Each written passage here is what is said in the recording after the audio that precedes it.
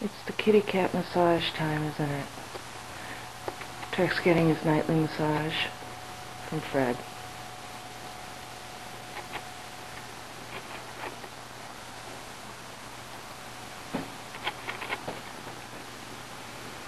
Let's see the technique he uses.